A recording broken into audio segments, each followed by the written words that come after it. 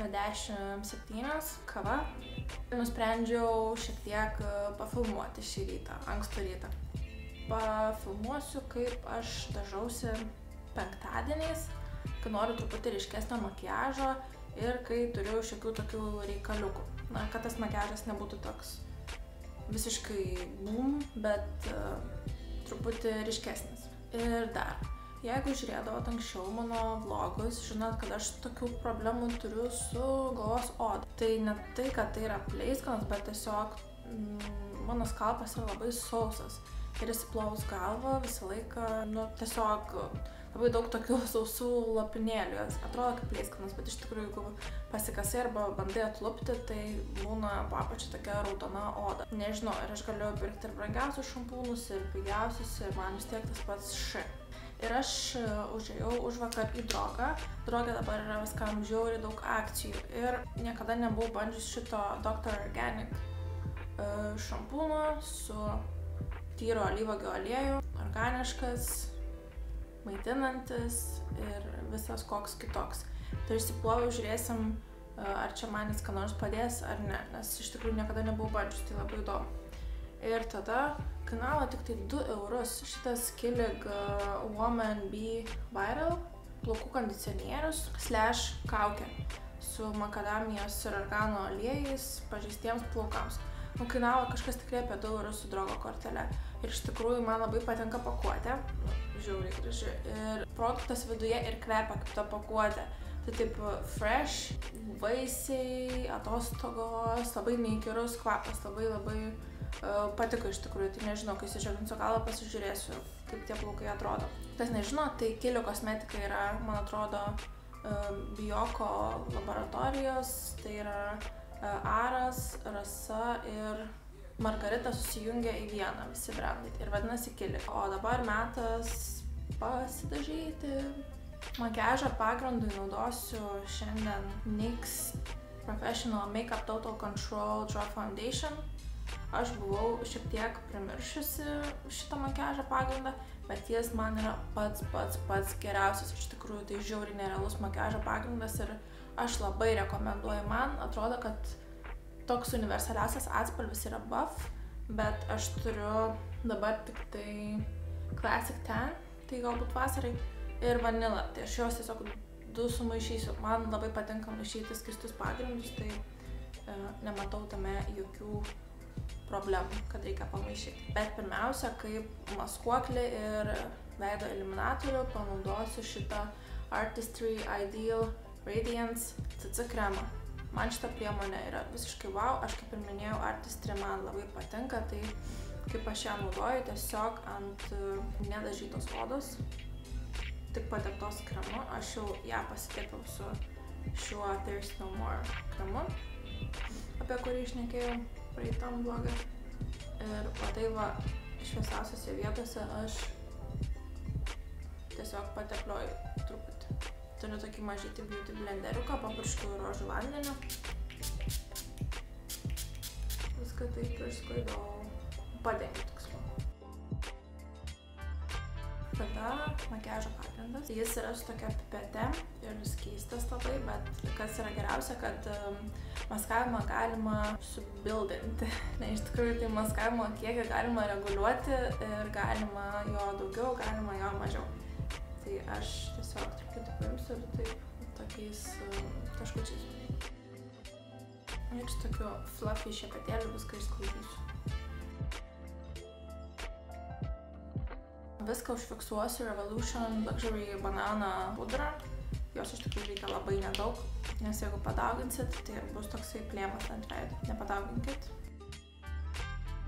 Šiaip tie šepetėlį iš Beauty Bay, nu tai tokie faini, man va, tas labai patinka fiksavimui. Labai labai geras. Šuns plaukai visur. Jeigu žinot kokią gerą šuniukų maudyklą Vilniuje, kur tikrai išpučia plaukus ir kailių nuoširdžiai, tai parekomenduokit. Ir šuo ne visada tikrai mėgsta maudytis, tai svarbu ir tas, kad galėtų suvaldyti didelį šunį. Tai labai ačiū, jeigu atsiras tokių rekomendacijų. Antakiai. Tai spėkit, ką naudosiu. Essence Brow Stylis. Nu, man tai patiko, kad aš tiesiog noriu naudoti šitą priemonę. Man tikrai labai nuoširdžiai patinka. Kainos atžvilgiu aš labai džiaugiuosi, kad yra tokių produktų grožio rinkui. Turi, man atrodo, šitą paletę savo vardą užsitikrinusi jau pas mus. Šiaip man antakis jau reikia sutvarkyti vėl, bet nieko. Paprastom dienom aš antakių neryškinu, bet šiandien yra penktadienis, tai aš pasiryškinsiu. Ir tada užfiksuosiu su L'Orealio antakių geliu. Šiaip man antakių fiksavimas labai daug ką duoda. Sustato viską į savo vietas, kur kam reikia būti. Dabar eisim prie akių. Aš iš tikrųjų labai paprastai akis dažysiuosi. Paimsiu truputį dar to banana powder ir užfiksuosiu, kad dienos eigoje man čia niekas nesubėgtų. Tai naudosiu pieštuką. Rival de Young, paprastas juodas akių pieštukas. Prie blakstienų linijos uh, patepiau juodą pieštuką ir dabar viską pasklaidysiu.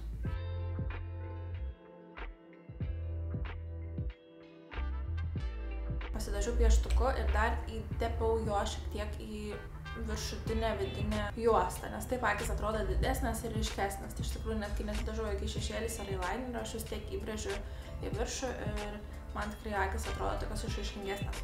O dabar naudosiu truputį, ne, netidarau, uh, NYX Professional Makeup Lip, Lip, Lid Lingerie, labai gražios spalvos yra šios paletės.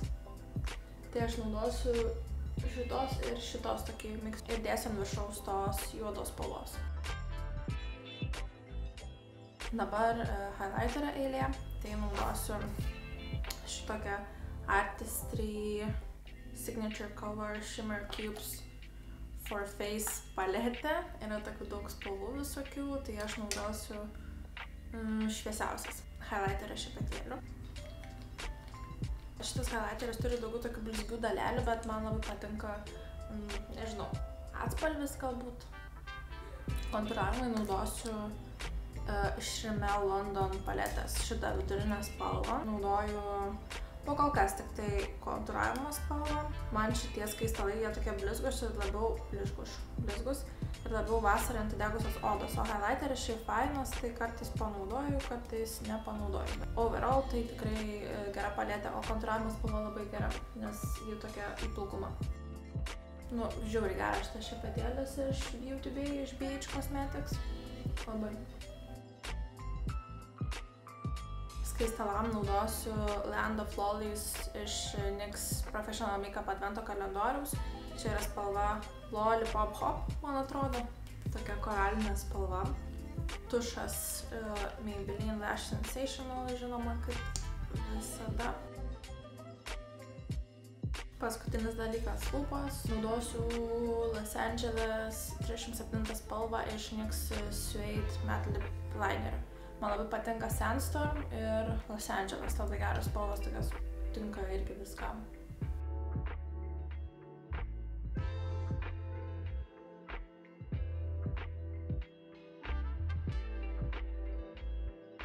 Štai kaip atrodo make-upas. Dar užsidėjau uh, Meko Twig lūpdažį ir jau pradėjo džiūti galva ir matau, kad uh, sluoksniuojasi man ta oda ir kad tas šampūnas tas pats kaip ir visi kiti.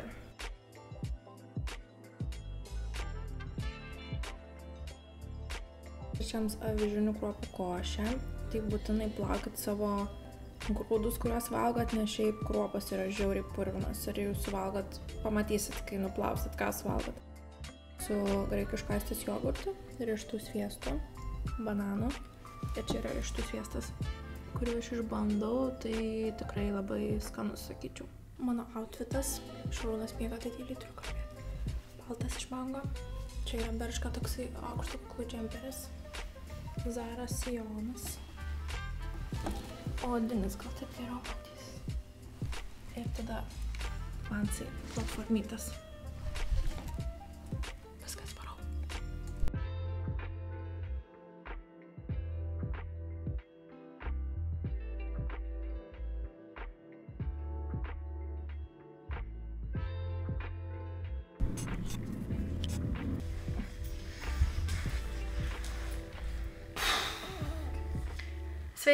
Šiandien yra Velykų diena ir kaip matėt, mes e, buvom pasiruošę savo tokį mini Velykinį stalą.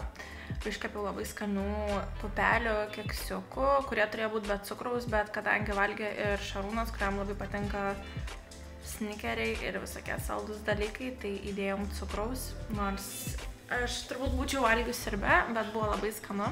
E, nusidažėm simboliškai porą kiaušinių, pasidėjom vaisių ir taip labai skaniai pabrančinom. Buvo šiaip iš tikrųjų apsiniaukę, tai truputį ir pamiegojom, bet paskui išlėkėm iki pasivaikščioti, kalbom nuvažiuoti įkėję, bet pasirodo jinai nedirba, tai tiesiog nuvažiavom į e, Mindugą Maksimą, kadangi norėjom pasivaikščioti, bet oras laukia buvo labai negražus, tai pasivaikščiom po Mindugą Maksimą ir E, pasipirkom visokių tai šūdelių, niekelių. E, šiaip esam pasinešę kažkaip ant stalo žaidimų, tai buvo akcija 40 procentų žaislams ir lego ir stalo žaidimams, tai nusipirkom šitą.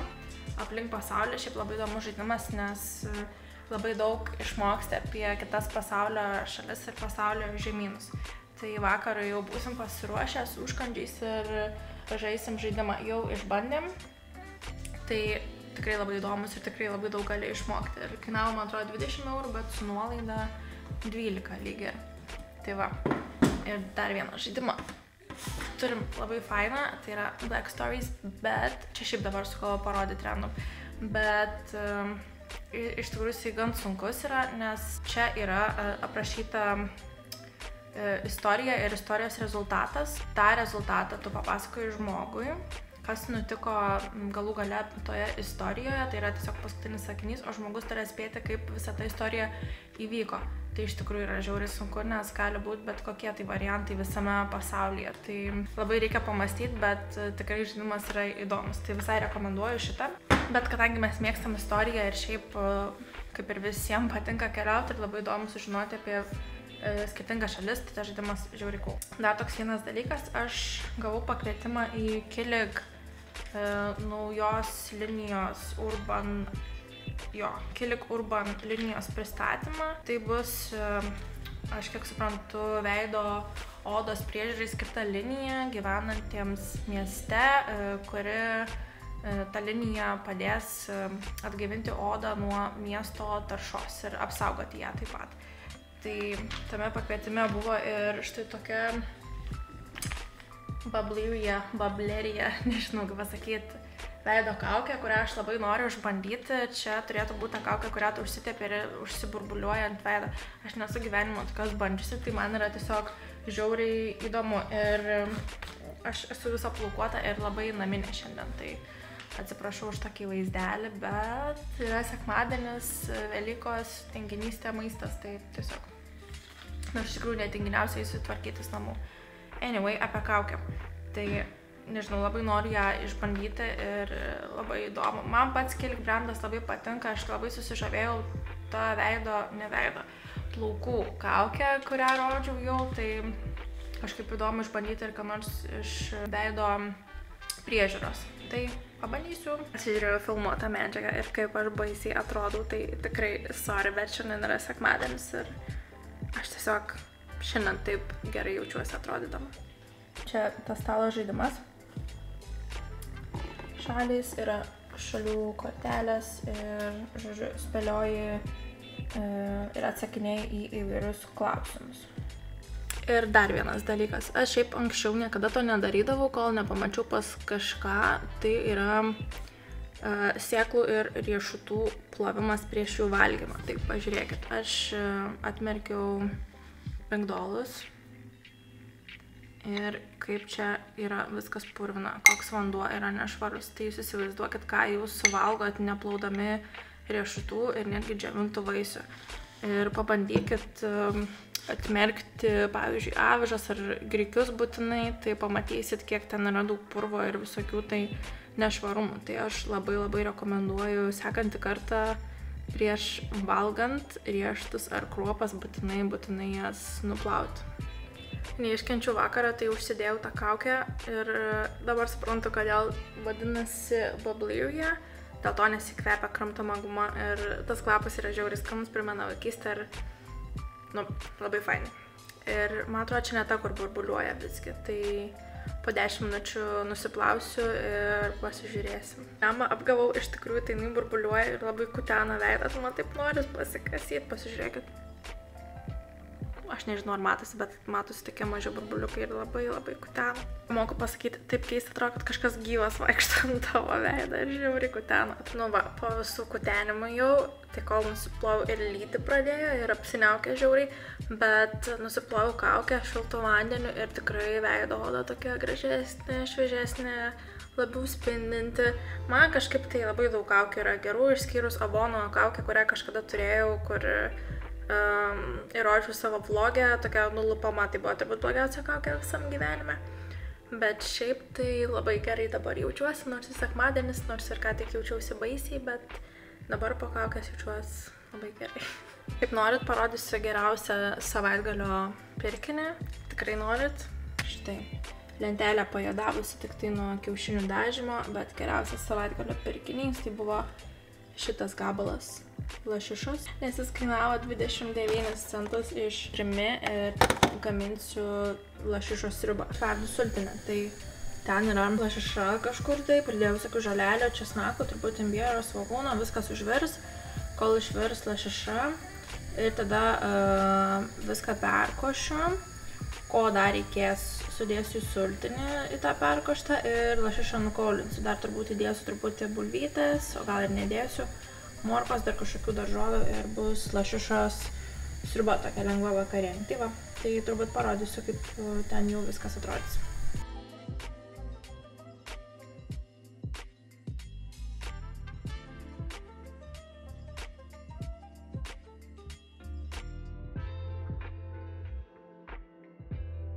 Tai ką, mes pavalgėm, labai skaniai sriuba gavosi, labai rekomenduoju užmesti akį į žuvies kelį ir gal rasit kokį žuvies kamputį už labai mažą kainą ir įsiversit skanios ribos. E, mūsų vakaro planas yra žaidimai, arbata, užkandžiai ir eisim miegoti. Tai toks sekmadienis ir susitiksim rytoj, pirmadienį nauja pradžia. Sveiki, šiandien yra antroji Velykų diena ir kaip sakiau, truputį pafilmuosiu, tai pažiūrėkit, su kokiu aš makiažu. Filmavom draugo video, ryškaus pavasarinio makiažo, man labai jisai patinka, aš galvau, kad man nelabai patiks. Šitaip atrodyti ryškiai, bet iš tikrųjų jaučiuosi labai gerai. Ir labai man patinka highlighteris, kurį naudojau ir makiažo pagrindas yra vienas geresnių, kurį aš esu naudojusi jau ilgą laiką, aš jį žinau ir Londone aš pirmą kartą jį išbandžiau. Tai va, pasižiūrėkit būtinai, kai jau išeis drogo video naujausia ir pamatysit, ką naudoju ir kaip pasidariau šitą makiažą.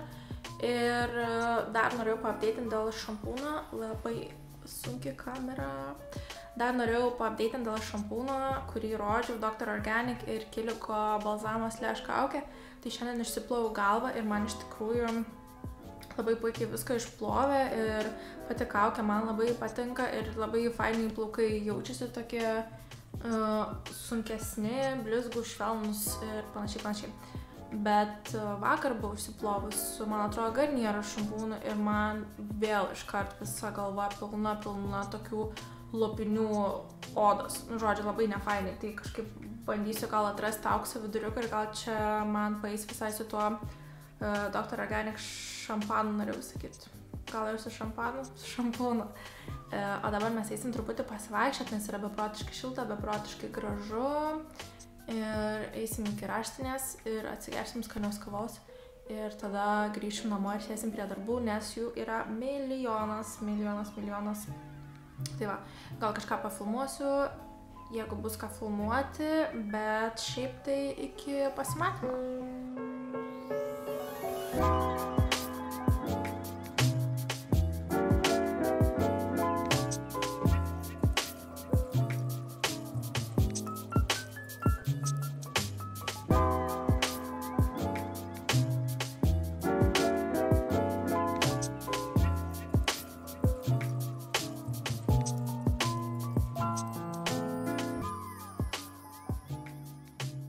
Tai ką, atėjo vakaras, kaip matėt, nebuvom raštiniai, buvom italalai, ten yra viena mūsų mėgstamiausių vietelių. Tai apsitvarkiau, sutvarkiau savo make-upą, išsimečiau, ko nereikėjo. Apsikopėm namus ir varysim valgyti vakarienės ir rytoj darbo diena, tai galbūt kažką pavloginsiu, o jeigu ne, tai iki kito vlogo.